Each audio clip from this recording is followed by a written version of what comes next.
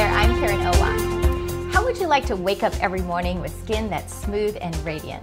We all have a tendency to overeat once in a while, or maybe more than once in a while, especially around the holidays. But the good news is, scientists have figured out one of the reasons why, and it all has to do with the types of foods we eat.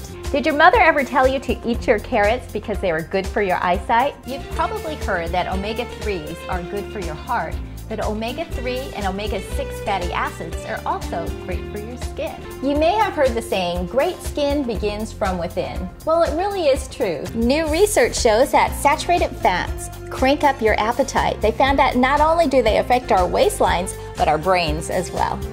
Carrots contain the nutrients lutein and zeaxanthin, which are red, yellow, and orange pigments that give your fruits and vegetables all their pretty colors. In this segment, we're going to zero in on the vitamins and teach you the ABCs and E's of good skin nutrition. Finally, enjoy some refreshing fruit as a snack or dessert instead of rich buttery pastries and ice cream. So you really can reset your brain to outsmart the triggers to overeat. Sticking to a diet rich in olive oil, fruits, and vegetables will help keep your appetite under control. Remember, your skin is a true reflection of what you eat and taking in plenty of vitamins A, B, C, and E will help keep your skin healthy and radiant. I'm Karen Owoc, the Health Reporter. See you next time for more quick health bites.